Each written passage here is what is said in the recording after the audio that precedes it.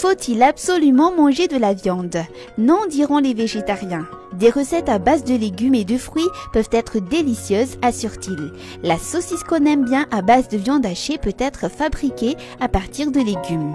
Saucisse zany à base de graine avy amin'ny voatsoroka voatsoroka dia zay koa manao karazana na baolina zao petit pois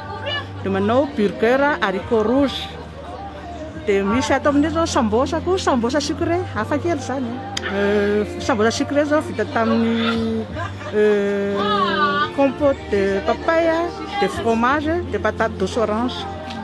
Produit local rehetra. Mi ampiasaina daholo zany zay zava-misy. Ahitana hevitra daholo.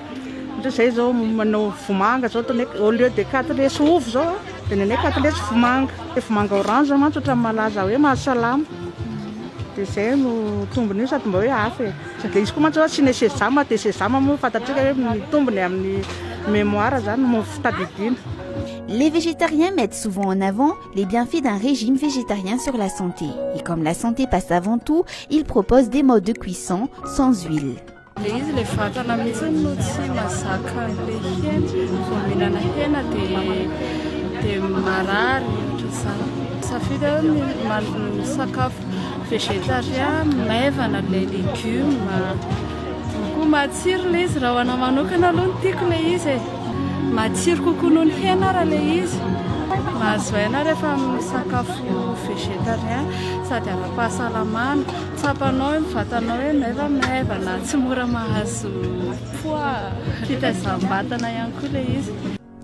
Et pour rendre les plats et les recettes plus savoureux, les végétariens vont utiliser des produits laitiers, des œufs. Car il faut noter qu'être végétarien ne dispense pas de consommer des produits issus des animaux. Seule la viande est bannie du régime.